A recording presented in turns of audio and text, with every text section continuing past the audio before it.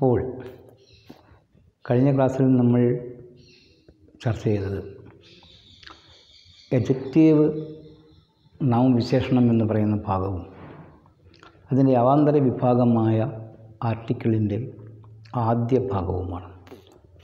അതായത് definite article നമ്മൾ പഠിച്ചു കഴിഞ്ഞു.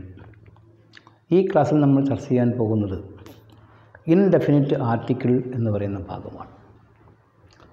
ഇൻഡെഫിനിറ്റ് ആർട്ടിക്കിൾസ് അതായത് അനിശ്ചയ ഭേദകങ്ങൾ.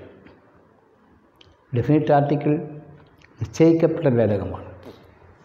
ഇൻഡെഫിനിറ്റ് ആർട്ടിക്കിൾസ് അതിന്റെ ഓപ്പോസിറ്റായിരിക്കും അനിശ്ചയ ഭേദകങ്ങൾ നിശ്ചയിക്കപ്പെടാത്തതാണ്. ഇതിന്റെ കാര്യം പഠിക്കുമ്പോൾ ശ്രദ്ധിക്കേണ്ട ഒരു കാര്യം. ഈ ഇൻഡെഫിനിറ്റ് ആർട്ടിക്കിൾസ് എന്ന് പറഞ്ഞാൽ രണ്ട് പദങ്ങളാണ്. ഒന്ന് എ ഒന്ന് ഏൻ എ ഏൻ ഇതിന്റെ അർത്ഥം ഒരു. ഒരു എന്ന് പറഞ്ഞാൽ ഏതെങ്കിലും ഒരു. അതായത് മേശപ്പുറത്തുള്ള ഒരു പുസ്തകം എന്ന് പറഞ്ഞാൽ മേശപ്പുറത്ത് ധാരാളം പുസ്തകങ്ങളുണ്ടാകും. അതിൽ ഏതെങ്കിലും ഒരു പുസ്തകം എന്നാണ്. അതാണ് ഇതിന്റെ അർത്ഥം. ഏൻ എന്ന വാക്കിന്റെ അർത്ഥവും ഏതെങ്കിലും ഒരു എന്ന് തന്നെയാണ്. അപ്പോൾ രണ്ടിനും ഒരേ അർത്ഥം വരുന്നത് കൊണ്ട് അവ പ്രയോഗിക്കുന്നതിന് ചില പ്രത്യേകമായ നിയമങ്ങൾ ഉണ്ടാകും. ആ നിയമം പറയുകയാണ്. ഇംഗ്ലീഷിലെ ലെറ്റേഴ്സ് പഠിച്ചു. വബൽ ലെറ്റേഴ്സ് കോൺസണന്റ് ലെറ്റേഴ്സ് ഈ ലെറ്റേഴ്സ് എന്ന് പറയുന്ന ആ വാക്കിന്റെ മുകളിൽ നിന്നും സൗണ്ട് എന്ന് പറയുന്ന ഒരു പദത്തിലേക്കാണ് നമ്മൾ പോകുന്നത്. ഒരു ഇംഗ്ലീഷ് വേർഡിന്റെ സൗണ്ട് എന്ന് പറയുന്നത് ആ ഇംഗ്ലീഷ് പദം നമ്മൾ മലയാളത്തിൽ ഉച്ചരിക്കുമല്ലോ. ഉച്ചരിക്കുമ്പോൾ ഏത് അക്ഷരമാണോ മലയാളത്തിൽ എഴുതുന്നത് ആ അക്ഷരമാണ് ആ ഇംഗ്ലീഷ് വേർഡിന്റെ സൗണ്ട് ഉദാഹരണങ്ങൾ സൂചിപ്പിക്കുമ്പോൾ അത് മനസ്സിലാവും. ഇപ്പോൾ ബുക്ക് എന്ന പദം.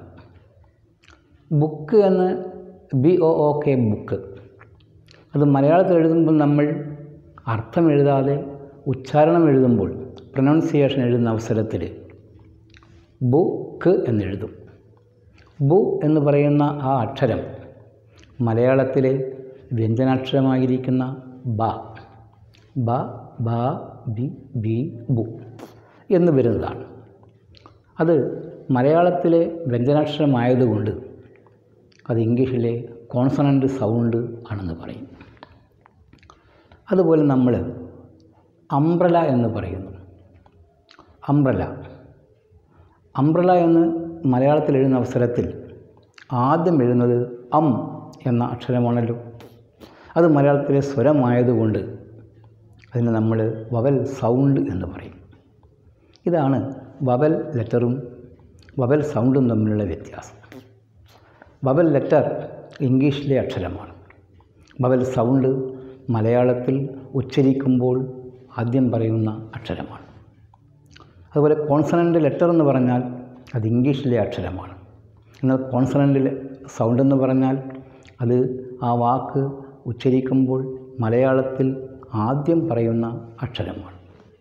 ഇതാണ് ലെറ്ററും സൗണ്ടും തമ്മിലുള്ള വ്യത്യാസം. സൗണ്ട് വെച്ചുകൊണ്ടാണ് നമ്മൾ ആർട്ടിക്കിൾ പഠിക്കുക.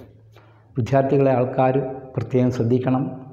നമ്മളൊരു ചൊട്ടുവിദ്യക്ക് എളുപ്പമാർഗത്തിലൂടെ പറയുമ്പോൾ A E I O U എന്നീ അക്ഷരങ്ങളിൽ ആരംഭിക്കുന്നതിന് മുമ്പ് ഏൻ ചേർക്കുന്നു എന്ന് പറയാറുണ്ട്.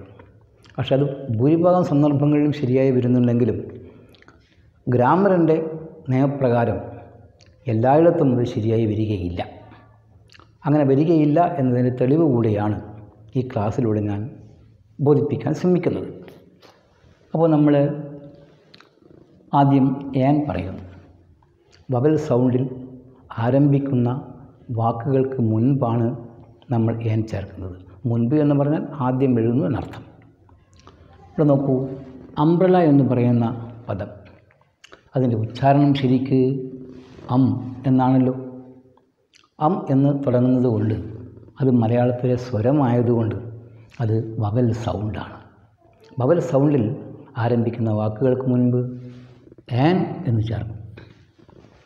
അങ്ങനെയാണ് ഏൻ അംബ്രല എന്ന് വന്നിരിക്കുന്നത്. എ അംബ്രല എന്നൊരിക്കലും പറയരുത്. അടുത്ത പദം ആപ്പിൾ ആപ്പിൾ എന്ന് പറയുമ്പോൾ നമ്മൾ ആ എന്നാണ് പറയുന്നത്. അത് മലയാളത്തിലെ സ്വരമായതുകൊണ്ട് അവിടെയും ഏൻ ആപ്പിൾ എന്നെഴുതുന്നു. മൂന്നാമത്തേത് ഓറഞ്ച് ഓറഞ്ച് എന്ന് പറയുമ്പോൾ നമ്മൾ ആദ്യം ഉച്ചരിക്കുന്നത് ഓ എന്ന അക്ഷരമാണല്ലോ മലയാളത്തിൽ അത് മലയാളത്തിലെ ഓ എന്ന അക്ഷരം സ്വരമായതുകൊണ്ട് അത് വവൽ സൗണ്ടാണ്. അതുകൊണ്ട് ഇവിടെ ഏൻ ചേർക്കുന്നു. അങ്ങനെയാണ് ഏൻ ഓറഞ്ച് വരുന്നത്. ഇനി ഏൻ എയറോപ്ലെയിൻ എയറോപ്ലെയിൻ എന്ന് പറയുമ്പോൾ നമ്മൾ ഏ എന്നാണ് ആദ്യം ഉച്ചരിക്കുന്നത്. അത് മലയാളത്തിൽ സ്വരമായതുകൊണ്ട് ഏൻ എയറോപ്ലെയിൻ എന്ന് പറയും. അതുപോലെ ഏൻ എലിഫന്റ് ഈ ഭാഗം വരുമ്പോൾ പ്രത്യേകം ശ്രദ്ധിക്കണം. ഏൻ അവർ അവർ എന്ന് പറഞ്ഞാൽ മണിക്കൂർ എന്നാണ് വാക്കിന്റെ അർത്ഥം. പക്ഷേ ഈ ഇംഗ്ലീഷ് വേർഡ് ആരംഭിക്കുന്നത് എച്ച് എന്ന് പറയുന്ന അക്ഷരത്തിലാണ്. അത് ഇംഗ്ലീഷിലെ കോൺസണന്റ് ലെറ്റർ ആണല്ലോ. പക്ഷേ ഇതിന്റെ സൗണ്ട് നോക്കണം. എച്ച് ഒ യു ആർ എന്ന് എഴുതുന്ന അവസരത്തിൽ അതിന്റെ ഉച്ചാരണം ഔവർ എന്നാണ്. ഔവർ ഇതാണ് അതിന്റെ ഉച്ചാരണം. ഹൗ എന്ന് വരുന്നില്ല ഔ എന്ന് വരുന്നു. ഔ എന്ന് പറയുന്നത് മലയാളത്തിലെ സ്വരമായതുകൊണ്ട് അത് വവൽ സൗണ്ടായതുകൊണ്ട് ഏൻ ചേർക്കണം. ഇത് പ്രത്യേകം ശ്രദ്ധിക്കേണ്ട ഒരു കാര്യമാണ്. അതുപോലെ ഏൻ ഇമ്പോർട്ടന്റ് മാറ്റർ ഇമ്പോർട്ടന്റ് ഈ എന്നാണ് പറയുന്നത് സ്വരമായതുകൊണ്ട് ഏൻ അതുപോലെ ആൻ അൺഫർഗറ്റബിൾ ഡേ അൺഫർഗറ്റബിൾ എന്ന് പറയുമ്പോൾ മറക്കാനാവാത്ത എന്നർത്ഥം. അൺ എന്ന് പറയുമ്പോൾ ആ അത് സ്വരമായതുകൊണ്ട് ഏൻ ചേർക്കുന്നു. അതുപോലെ an ink pot an honest boy. ഇവിടെയും എച്ച് സൈലന്റാണ് എച്ച് ഉച്ചരിക്കുന്നില്ല. ഓണസ്റ്റ്. ഓണസ്റ്റാണ് അപ്പോൾ ഓ എന്ന് പറയുന്നത് മലയാളത്തിലെ സ്വരമായതുകൊണ്ട് അത് വവൽ സൗണ്ടാണ് ഏൻ ചേർക്കുന്നു. വവൽ സൗണ്ടിൽ ആരംഭിക്കുന്ന എല്ലാ വാക്കുകൾക്ക് മുമ്പിലും ചേർക്കുന്ന ആർട്ടിക്കിൾ ഏൻ ആണെന്ന് മനസ്സിലാക്കണം. ഇനി നമ്മൾ കോൺസണന്റ് സൗണ്ടിൽ ആരംഭിക്കുന്ന വാക്കുകൾക്ക് മുൻപ് എ ചേർക്കും. ഇവിടെ നോക്കൂ സൗണ്ട് എ ഹൗസ് ഹൗ എന്നാണ് ഉച്ചരിക്കുന്നത്. ഹ എന്ന് പറയുന്നത് മലയാളത്തിലെ വ്യഞ്ജനാക്ഷരമാണ് അത് ഇംഗ്ലീഷിലെ കോൺസണന്റ് സൗണ്ടാണ് അതുകൊണ്ട് എ ചേർത്തിരിക്കുന്നു. അതുപോലെ റൂം റ അത് മലയാളത്തിലെ വ്യഞ്ജനാക്ഷരമാണ്. അതുകൊണ്ട് ഇംഗ്ലീഷിലെ കോൺസണന്റ് സൗണ്ടായിരിക്കും എ ചേർക്കും. എ ടീച്ചർ എ ഇയർ ഈ അക്ഷരം വരും വാക്ക് വരുമ്പോഴും പ്രത്യേകം ശ്രദ്ധിക്കേണ്ടതുണ്ട്. ഇയർ എന്ന് പറയുമ്പോൾ സാധാരണഗതിയിൽ ഇ എന്നല്ലേ നമ്മൾ പറയുന്നത്? ഇ എന്ന് പറയുന്നത് മലയാളത്തിലെ സ്വരമാണല്ലോ. അങ്ങനെയാണെങ്കിൽ ഏൻ വരേണ്ടതല്ലേ? പക്ഷേ ഈ വാക്കിന്റെ ഉച്ചാരണം ഇതാണ്. ഡിക്ഷണറിയിൽ കാണുന്ന ഉച്ചാരണം ഇയർ എന്നുള്ളത് ഇതാണ്. അപ്പോൾ യാ എന്ന് പറയുന്ന മലയാളത്തിലെ അക്ഷരം വ്യഞ്ജനാക്ഷരമാണ്. അത് ഇംഗ്ലീഷിലെ കുറച്ച് സൗണ്ടാണ്. ആ സൗണ്ടിൽ ആരംഭിക്കുന്ന വാക്കുകൾക്ക് മുൻപ് ഏ ചേർക്കുന്നു. അപ്പോൾ ഈ വാക്ക് പ്രത്യേകം ശ്രദ്ധിക്കണം. A one year old boy അപ്പോൾ എ ഇയർ എന്ന് പറയാനുള്ള കാരണം ഇയർ എന്നുള്ള ഈ പദം ഉച്ചരിക്കുമ്പോൾ മലയാളത്തിലെ വ്യഞ്ജനാക്ഷരമാണ് ആരംഭിക്കുന്നത്. അത് ഇംഗ്ലീഷിലെ കോൺസണന്റ് സൗണ്ടാണ് ആ കോൺസണന്റ് സൗണ്ടിൽ ആരംഭിക്കുന്ന വാക്കായതുകൊണ്ട് എ ചേർത്തിരിക്കുന്നു. A one year old boy one എന്ന് പറഞ്ഞാൽ വ. അത് മലയാളത്തിലെ വ്യഞ്ജനമാണ്. അത് ഇംഗ്ലീഷിലെ സൗണ്ട് പറയുമ്പോൾ കോൺസണന്റ് സൗണ്ടായിരിക്കും അതുകൊണ്ടാണ് എ എന്ന് ചേർത്തിരിക്കുന്നത്. A mountain a park a committee committee എന്ന വാക്കിന്റെ സ്പെല്ലിംഗ് പ്രത്യേകം പഠിക്കണം ചെറിയ കുട്ടികൾ C O M M I T T E E double M double T double E a policeman a merchant merchant കച്ചവടക്കാർ. അപ്പോൾ നമ്മളിവിടെ പഠിച്ചിരിക്കുന്നത് indefinite articles a and an vowel സൗണ്ടിൽ ആരംഭിക്കുന്ന വാക്കുകൾക്ക് മുൻപ് ഏൻ ചേർക്കുന്നു. കോൺസണന്റ് സൗണ്ടിൽ ആരംഭിക്കുന്ന വാക്കുകൾക്ക് മുൻപ് എ ചേർക്കുന്നു. ഇതിനകത്ത് എ ഇ ഐ യു മാത്രം നോക്കിക്കൊണ്ട് പറയാൻ പാടില്ല. ചില പ്രത്യേകമായ ഘട്ടങ്ങളിൽ ഇതിന് മാറ്റങ്ങൾ സംഭവിക്കും. അതുകൊണ്ട് വാക്കുകളുടെ ശരിക്കുള്ള പ്രൊനൗൺസിയേഷൻ ഉച്ചാരണം ശരിക്കും നമ്മൾ അത് മനഃപ്പാടമാക്കിയിരിക്കണം. അത് പ്രത്യേകം ശ്രദ്ധിക്കേണ്ട ഒരു കാര്യമാണെന്ന് കൂടി ഓർമ്മിപ്പിക്കുന്നു. നമ്മൾ ആർട്ടിക്കിൾസ് പഠിച്ചു. ഇനി ആർട്ടിക്കിൾസിന്റെ ഒരു ചെറിയ ഹോംവർക്ക്. ഹോംവർക്ക് പഠനത്തിന്റെ ഒരു ഭാഗമാണെന്ന് മനസ്സിലാക്കണം. അഞ്ച് സെന്റൻസുകളാണ് ഞാൻ ബോർഡിൽ കാണിച്ചിരിക്കുന്നത്. ഇപ്പോൾ fill in the blanks with a an or the എയോ ഏനോ അല്ലെങ്കിൽ ദിയോ ഓർ എന്ന് പറഞ്ഞാൽ അല്ലെങ്കിൽ എന്നാണ് എയോ ഏനോ അല്ലെങ്കിൽ ദിയോ ചേർത്തുകൊണ്ട് വിട്ടുപോയ ഭാഗം പൂരിപ്പിക്കുക എന്നാണ്. There is dash cow in dash field field വയൽ കൗ പശു. Manohar is dash student in this class my father bought bought എന്ന് പറഞ്ഞാൽ വാങ്ങി എന്നർത്ഥം. ഡാഷ് ചെയർ കസേര dash bag and dash umbrella. നാലാമത്തത് some girls are singing. Dash song song പാട്ട്. On dash stage. അഞ്ചാമത്തത് dash fox is chasing dash hen fox കുറുക്കൻ hen കോഴി. ഇത് നിങ്ങൾ അടു അടുത്ത ക്ലാസ്സിൽ വരുമ്പോൾ ശരിക്ക് ശ്രദ്ധയോടുകൂടി തന്നിരിക്കുന്ന ഭാഗം വായിച്ചു പഠിച്ചതിന് ശേഷം തെറ്റിക്കോട്ടെ കുഴപ്പമൊന്നുമില്ല. നിങ്ങൾ ചെയ്ത് കൊണ്ടുവരണം. ഈ ഉത്തരം അടുത്ത ക്ലാസ്സിൽ പറയുമ്പോൾ അത് കേട്ടുകൊണ്ട് നിങ്ങൾക്ക് തെറ്റുകൾ തിരുത്താൻ സാധിക്കും. ഇനി നമ്മൾ അജക്റ്റീവ് അതായത് നാമവിശേഷണത്തിന്റെ മൂന്ന് വ്യത്യസ്തമായ രൂപങ്ങളിലേക്കാണ് പോകുന്നത്. ഒന്ന് ഇംഗ്ലീഷിൽ ഡിഗ്രീസ് ഓഫ് കമ്പാരിസൺ എന്നാണ് പറയുക. ഡിഗ്രികളെ താരതമ്യം ചെയ്യാൻ. ഒന്നാമത് പോസിറ്റീവ് ഡിഗ്രി ഒരു പ്രത്യേകമായ ഗ്രൂപ്പിലുള്ള പദമാണ്. രണ്ടാമത്തേത് കമ്പാരറ്റീവ് ഡിഗ്രി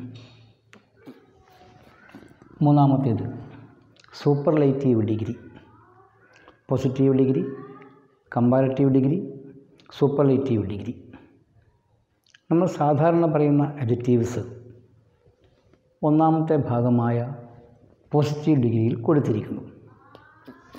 ഒന്നാമത്തെ ഉദാഹരണം നോക്കാം. ലോങ് നീളമുള്ള എന്നർത്ഥം. ഈ വാക്കിന്റെ കൂടെ ഇ ആർ എന്നീ അക്ഷരങ്ങൾ ചേർത്തുകൊണ്ട് അതിന്റെ കമ്പാരറ്റീവ് ഡിഗ്രിയുള്ള ഫോം എഴുതിയിരിക്കുന്നു. അപ്പോൾ ലോങ്ങർ. അതിന്റെ അർത്ഥം അതിനേക്കാൾ നീളമുള്ള. മൂന്നാമത്തെ ഫോം സൂപ്പർലേറ്റീവ് ഡിഗ്രി അതെഴുതുമ്പോൾ ഈ ആദ്യത്തെ വാക്കിന്റെ കൂടെ ഇ എസ് ടി എന്ന് ചേർത്തിരിക്കുന്നു അപ്പോൾ ലോങ്ങസ്റ്റ് ഏറ്റവും നീളമുള്ള. അപ്പോൾ ലോങ് നീളമുള്ള ലോങ്ങർ അതിനേക്കാൾ നീളമുള്ള ലോങ്ങസ്റ്റ് ഏറ്റവും നീളമുള്ള. അതുപോലെ സ്മോൾ ചെറിയ. സ്മോളർ അതിനേക്കാൾ ചെറിയ. സ്മോളസ്റ്റ് ഏറ്റവും ചെറിയ. ടോൾ ഉയരമുള്ള. ടോളർ അതിനേക്കാൾ ഉയരമുള്ള ടോളസ്റ്റ് ഏറ്റവും ഉയരമുള്ള. യങ് ഉയരം കുറഞ്ഞെന്നും അർത്ഥമുണ്ട് പ്രായം കുറഞ്ഞെന്നും അർത്ഥമുണ്ട്.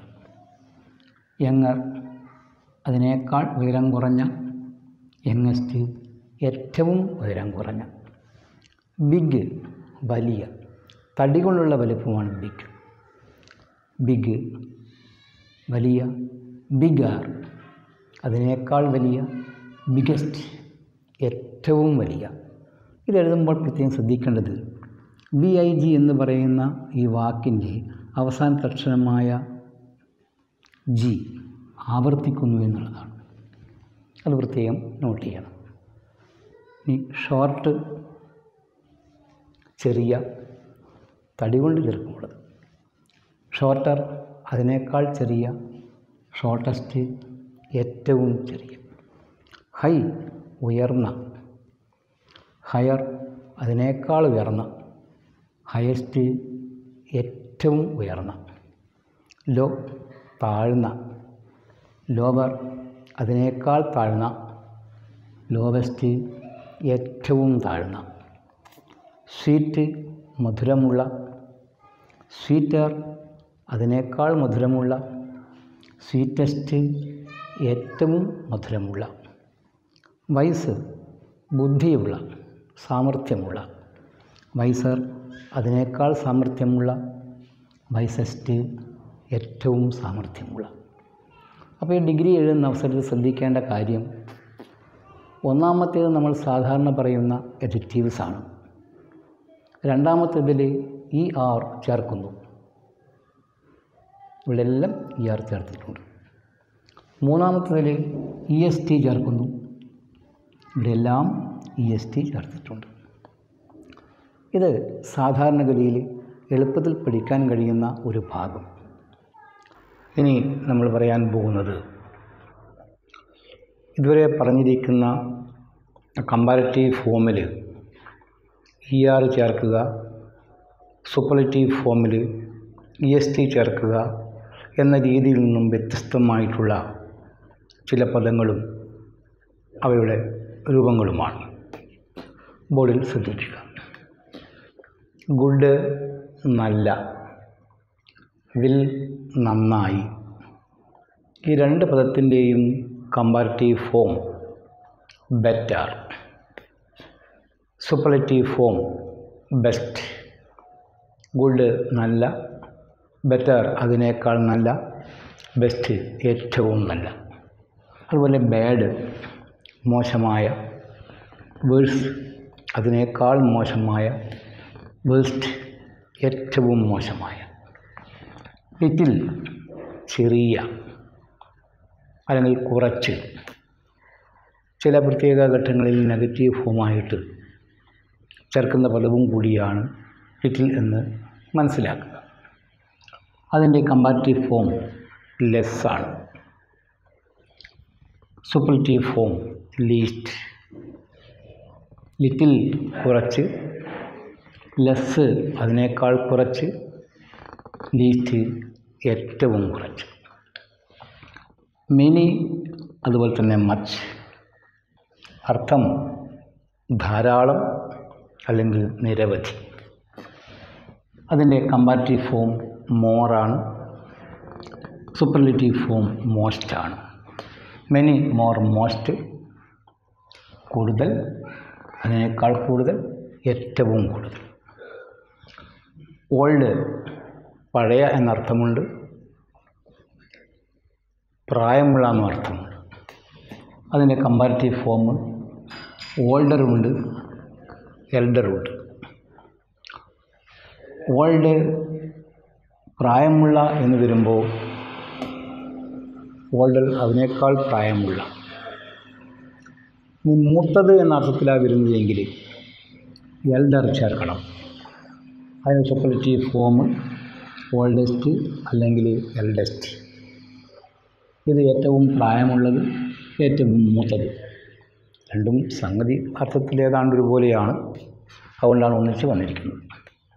ഇനി ഒന്നിൽ കൂടുതൽ പദങ്ങൾ കമ്പാരറ്റീവ് ഫോമായിട്ടും സൂപ്പറേറ്റീവ് ഫോമായിട്ടും വരുന്ന സന്ദർഭങ്ങൾ. ബ്യൂട്ടിഫുൾ മനോഹരമായ. മോർ ബ്യൂട്ടിഫുൾ അതിനേക്കാൾ മനോഹരമായ. മോസ്റ്റ് ബ്യൂട്ടിഫുൾ ഏറ്റവും മനോഹരമായ. ഡിഫിക്കൽട്ട് പ്രയാസമുള്ള. മോർ ഡിഫിക്കൽട്ട് അതിനേക്കാൾ പ്രയാസമുള്ള. മോസ്റ്റ് ഡിഫിക്കൽട്ട് ഏറ്റവും പ്രയാസമുള്ള. ഓണസ്റ്റ് സത്യസന്ധതയുള്ള. മോർ ഓണസ്റ്റ് അതിനേക്കാൾ സത്യസന്ധതയുള്ള മോസ്റ്റ് ഓണസ്റ്റ് ഏറ്റവും സത്യസന്ധതയുള്ള ഇമ്പോർട്ടന്റ് പ്രധാനപ്പെട്ട മോർ ഇമ്പോർട്ടന്റ് അതിനേക്കാൾ പ്രധാനപ്പെട്ട മോസ്റ്റ് ഇമ്പോർട്ടന്റ് ഏറ്റവും പ്രധാനപ്പെട്ട ഹാംഫുൾ എന്ന വാക്കിന്റെ അർത്ഥം ഹാനികരമായ അല്ലെങ്കിൽ ഉപദ്രവകാരിയായ ലെസ് ഹാംഫുൾ ലെസ് കുറച്ചാണ് അതിനേക്കാൾ കുറച്ച് ഹാനികരമായ. ലീസ്റ്റ് ഹാംഫുൾ എന്ന് പറഞ്ഞാൽ ഏറ്റവും കുറച്ച് ഹാനികരമായ. അപ്പോൾ മോറിന്റെ ഓപ്പോസിറ്റായിട്ട് വരുന്ന പദവും കൂടിയാണ് ലെസ് എന്ന് മനസ്സിലാക്കണം. ഇനി നമ്മൾ ഇതിന്റെ കമ്പാരിറ്റീവ് ഫോം സൂപ്പർലേറ്റീവ് ഫോം ചേർക്കുന്ന ചില വാചകങ്ങളാണ് പറയാൻ പോകുന്നത്. Apple is a sweet fruit. Apple മധുരമുള്ള പഴമാണ്. Mango is sweeter than apple. Comparative ഫോമിലുള്ള വാക്ക് ചേർക്കുമ്പോൾ അതിന്റെ കൂടെ ദാൻ എന്ന് വരുന്ന പ്രയോഗം ശ്രദ്ധിക്കുക. ദാൻ എന്ന് പറഞ്ഞാൽ കാൾ അതിനേക്കാൾ എന്നാണ് അർത്ഥം. അപ്പോൾ mango is sweeter than apple എന്ന് പറഞ്ഞാൽ മാമ്പഴം ആപ്പിളിനേക്കാൾ മധുരമുള്ളതാണ്. Pineapple is sweeter than mango pineapple കരുച്ചക്ക. Pineapple എന്ന് പറയുന്നത് മാമ്പഴത്തേക്കാൾ മധുരമുള്ളതാണ്. ഇവയിൽ ഏറ്റവും കൂടുതൽ മധുരമുള്ള പഴം പൈനാപ്പിൾ ആണല്ലോ അതുകൊണ്ട് pineapple is the sweetest fruit ഈ പഴങ്ങളുടെ കൂട്ടത്തിൽ ഏറ്റവും മധുരമുള്ള പഴം പൈനാപ്പിളാണ് ഏറ്റവും മധുരമുള്ള എന്ന് പറയുമ്പോൾ സൂപ്പർലൈറ്റീവ് ഫോമാണ് ആ ഫോമിന് മുമ്പോഴും ചേർക്കുന്ന ആർട്ടിക്കിൾ ഡെഫിനിറ്റ് ആർട്ടിക്കിൾ ഡി എന്ന് മനസ്സിലാക്കണം. ഇനി മറ്റൊരു പരീക്ഷയ്ക്ക് വരുന്ന രീതിയിലെ ചോദ്യം. വിദ്യാർത്ഥികൾ പ്രത്യേകം ശ്രദ്ധിക്കണം. പരീക്ഷയ്ക്ക് വരാറുള്ള രീതിയിലുള്ള ഒരു ചോദ്യമാണ് പറയുന്നത്. ഇത് യൂസ് ടോൾ ടോളർ ടോളസ്റ്റ്. ഉയരമുള്ളത് അതിനേക്കാൾ ഉയരമുള്ളത് ഏറ്റവും ഉയരമുള്ളത്. ഇതാണ് ചേർക്കേണ്ടത്. ചേർക്കാനുള്ള ക്വസ്റ്റ്യൻ കൊടുക്കുന്നു. Michu is one point four metre high. മിച്ചിതിന് ഒന്ന് പോയിന്റ് നാല് മീറ്റർ ഉയരമുണ്ട്. Meenu is one point five metre high Meenu ഒന്ന് പോയിന്റ് അഞ്ച് മീറ്റർ ഉയരമുള്ള ആളാണ്. Molly is one point six metre high മോളിയാണെങ്കിൽ ഒന്ന് പോയിന്റ് ആറ് മീറ്റർ ഉയരമുള്ളവളാണ് അപ്പോൾ ഇതിൽ ഉയര കൂടുതലാണ് വരുന്നത് ഇവിടെ.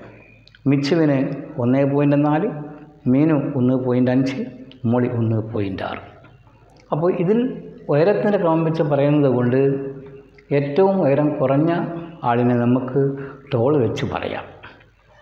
Michu is a tall girl Michu ഒരു ഉയരമുള്ള കുട്ടിയാണ്. Meenu is taller than Michu. Meenu മിച്ചുവിനേക്കാൾ ഉയരമുള്ളവളാണ്. Molly is taller than Meenu. മോളിയാണെങ്കിൽ മീനുവിനേക്കാൾ ഉയരമുള്ളവളാണ്. ഇവരെ മൂന്ന് പേരുടെ കൂട്ടത്തിൽ ഏറ്റവും ഉയരമുള്ളത് മോളിയാണല്ലോ. അതാണ് സൂപ്പർലേറ്റീവ് അപ്പം Molly is the tallest girl among them ഇവർക്കിടയിൽ ഏറ്റവും ഉയരമുള്ള കുട്ടി മോളിയാണ്. ഇത് പരീക്ഷയ്ക്ക് വരുന്ന രീതിയിലുള്ള ഒരു ഭാഗമാണെന്ന് മനസ്സിലാക്കണം. അപ്പോൾ ഇന്ന് നമ്മൾ പഠിച്ചു കഴിഞ്ഞിരിക്കുന്നത് ഇൻഡെഫിനിറ്റ് ആർട്ടിക്കിൾസ് എ ആൻ അതിന്റെ പ്രയോഗങ്ങൾ. പിന്നെ അഡക്റ്റീവിന്റെ മൂന്ന് ഫോമുകൾ positive degree comparative degree superlative degree എന്നിവ. അതിന്റെ കുറേ എക്സാമ്പിളും പരീക്ഷയ്ക്ക് വരാറുള്ള രീതിയിലുള്ള ഒരു ചോദ്യ ഭാഗവും ഇന്ന് ഈ ക്ലാസ് ഇവിടെ അവസാനിക്കുകയാണ്. അടുത്ത ക്ലാസ്സിൽ നമ്മൾ പ്രോനൗൺ വെർബ് എന്നീ ആശയങ്ങളുമായി വീണ്ടുമെത്തും ബൈ.